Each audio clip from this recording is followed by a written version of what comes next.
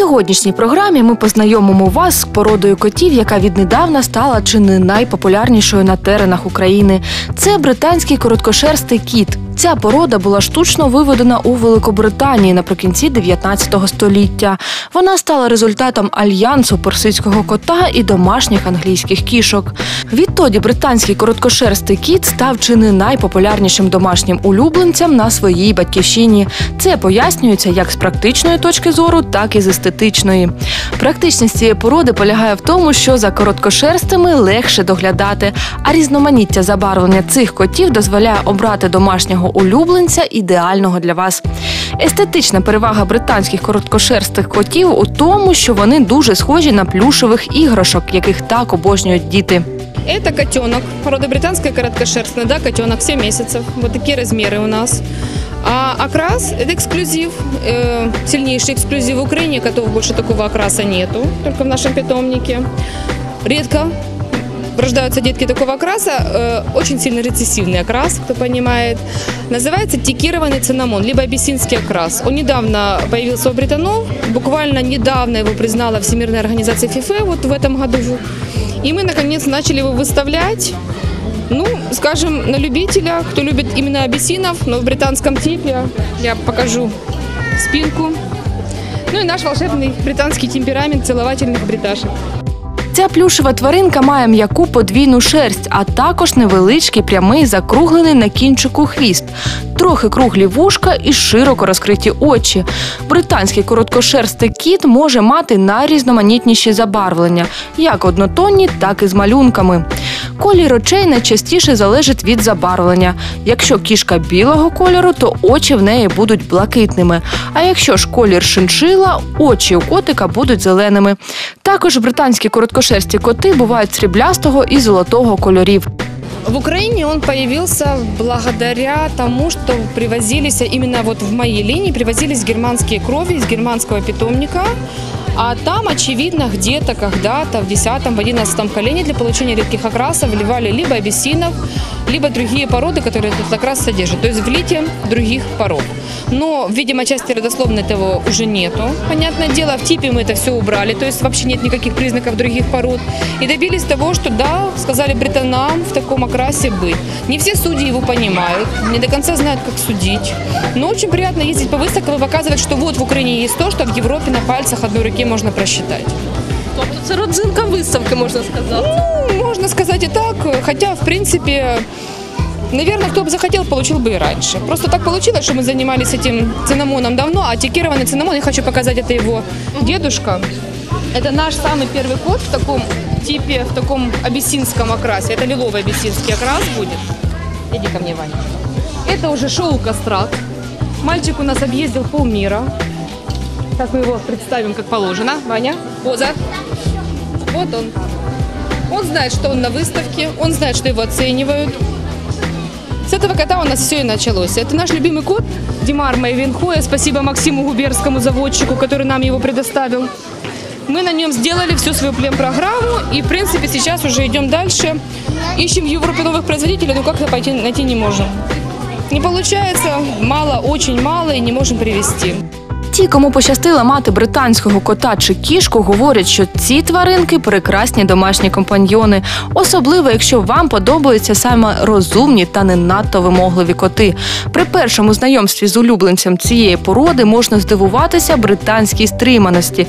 Та вже за деякий час британський короткошерстий кіт стане відданим і люблячим, але тільки взамін на вашу любов та увагу. Я не ругаюсь на тебя. Зачем ты спрятался от меня? Єнотовитного собаку знайшли у Сумах. Тварину спіймали на вулиці Героїв Сумщини. Як наразі почуває себе чотирилапик, розкажемо далі. К нам поступил звонок о том, что на улице Героев Сталинграда э, вблизи дороги лежит м, животное, похожее на енота. Э, Вот. э, К счастью, у нас э, в этом районе работает один из наших волонтеров. Мы, естественно, позвонили девочке, она вышла посмотреть и оценить ситуацию. Прибыв на место, она обнаружила, что это довольно-таки похоже больше на енотовидную собаку. Вот. Она взяла, накрыла его животное У нее была с собой курточка, накрыла его курточкой и транспортировала в клинику. По виду было видно, что оно нуждается в помощи. Наразі тварина проходить лікування у ветеринарній клініці. У нього виявили шкіряне захворювання. Он проходит лечение от чесоточного клеща, м, название заболевания саркоптоз. Это опасно для других плотоядных, для кошечек, собачек, лисиц, э, енотовидных собак. Поэтому он сейчас содержится у нас в отдельном боксе. Э, Из лечения основное это противопаразитарные препараты, это таблетка, это уколы, это наружные обработки. Судя по поведению этой собачки, он достаточно контактный, он боится людей, но не чересчур, он не проявляет признаков агрессии. Я думаю, что это животное проживало у кого-то из людей, он знает людей. В принципе, он знает, что может получить от них еду, что надо на них правильно реагировать. Ну, собака, наверное, была домашней. После лечения его отправим э, в зоопарк, там, где держат таких животных, которые когда-то попали в беду. То есть они там имеют хороший уход, за них переживать там не нужно. Вот. Э, Что хотелось бы сказать. Раньше, когда э, в городе видели таких животных, енотовидные собаки, неважно, лисицы, всегда выезжала служба, всегда стреляла, не разобравшись. Бешеные животные, не бешеные животные. Естественно, страдали и обычные наши животные, собаки, коты. То есть, если была где-то замечена лисица, то в радиусе там нескольких километров стрелялись все собаки. Вот. Сейчас э, эти звонки поступают в общество защиты животных. Для начала мы осматриваем это животное, его осматривают доктора, э, наблюдаем за ними. Они оказываются вполне хорошими, здоровыми. Ну, пускай имеют какие-то проблемы с кожей, ну, это может иметь любое животное, даже домашнее. И, естественно, потом не обязательно их убивать, уничтожать. Их отправляем в зоопарки, там, где за ними ухаживают, там, где их любят, кормят.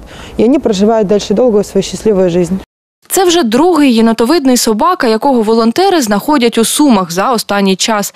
Першого такого спіймали кілька місяців тому, вилікували і передали до зоопарку, який знаходиться за містом. Тендітна та дружелюбна вихованиця товариства захисту тварин шукає собі нового господаря. Знайомтеся з наступним героєм нашої програми. У нас э, в обществе защиты животных есть несколько собак, которые попали к нам с трубного завода, с нашего. Э, поскольку там их стали, прямо скажем, уничтожать, вот, то мы э, приняли такое решение э, взять оставшихся в живых собак к нам. Вот одна из них, несмотря на то, что она рыжая, зовут ее Белочка, Белка.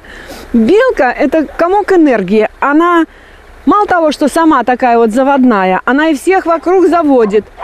Придешь утром, настроения никакого, белка. Она лает особо, она ждет, когда ты к ней подойдешь, сразу настроение поднимается. Хочется ее обнять, погулять с ней. Удивительно, что она вот стоит. Видно, чувствует, что они ей говорят. Она очень коммуникабельная, она всех любит, она любит гулять, ужасно любит гулять, любит собак. Никто не жалуется на нее, ни собаки, ни мы. В общем, она очень-очень такая активная, позитивная. Ну, не знаю, почему белка. Я бы назвала ее, конечно, рыжуха. Может, белка в том смысле, что белки, которые живут на деревьях, такие вот рыжие. Но она у нас белочка. Да, белочка, ты хорошая девочка. Цей песик не зможе довго всидіти на одному місці. Він полюбляє довготривалі прогулянки. Ей два года, она молоденькая собака. Вот, ну, пожилым я бы не советовала, потому что она насколько активная, и она так гуляет активно, что тяжеловато, тяжеловато с ней гулять. Это молодежь любит, она бегает и все время бегает. Поэтому она очень хороший сторож, она лает.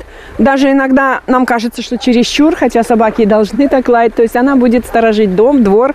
И, конечно, желательно, чтобы она жила в хорошей теплой будке, в такой, как у нас, и во дворе. Квартиру не советуете. Нет, ей будет там некомфортно. Собаке будет некомфортно. Она любит простор, она любит бегать, она привыкла жить на большом заводе, на территории, поэтому, да, Белочка, моя ты красота. Перед тим як прийти за пухнастиком до притулку, волонтери рекомендують підготуватися. Чтобы забрать любую собаку у нас, нужно, чтобы был ошейник и поводок.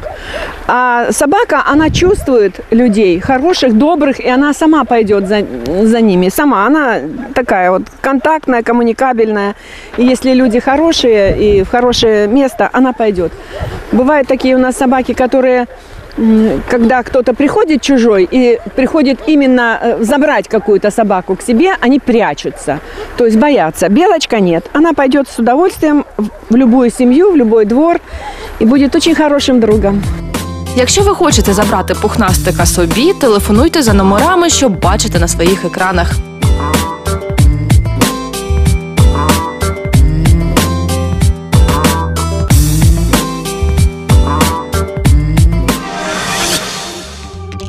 Аби ваші пухнастики залишалися здоровими та активними, прислухайтеся до порад нашого ветеринара. В этой программе поговорим о отравлении. И отравлении препаратом и изониазид, который в последнее время из-за популярности интернета набирает популярности использования на территории города Сум. Очень неприятные ситуации возникают в последнее время из-за того, что люди все-таки находят э, применение этому препарату, и животное в течение двух часов после того, как уже съело э, этот препарат, погибает. Препарат связывают э, недостачу витамина B16, в- B6 в организме, в результате чего у животного начинаются не- нервные судороги, и животное довольно-таки быстро погибает. То есть симптомы следующие. Сначала у животного начинается вялость, слабость, э, нарушение координации движения задних и передних конечностей. Животное э, поначалу идет слюнотечение, которое потом переходит в обильное пеноотделение. Животное теряет координацию движения, падает. Конвульсии начинаются. Такие плавательные движения или ходящее движение животного, которое лежит на боку. То есть животное падает на бок и начинает пытаться как будто убежать. То есть работают сразу передние и задние конечности. Такие э, обильные стискания э, челюстями у животного идет, ну, соответственно, много пены. Люди пугаются из-за того, что это может быть бешенство. Но если это течение картины идет молниеносное, то есть в течение там, часа-двух симптомы набегают, то это вполне вероятно отравление именно этим э, ядом, про который я говорю, который используют не очень хорошие люди. Аби врятувати тварину, необхідно швидко відреагувати на симптоми отруєння. Самое главное научить свое животное водить на поводке так, чтобы оно ничего не подымало. Потому что все такие вещи можно подмешивать с маленькими участками корма или пищу, которую там подбрасывают, и они животное под- подбирают. Поэтому главное следить за своим животным, иметь номер телефона ветеринарного врача или же э, клиники, которая работает там или круглосуточно, или врач, который может при- приехать в любой момент времени –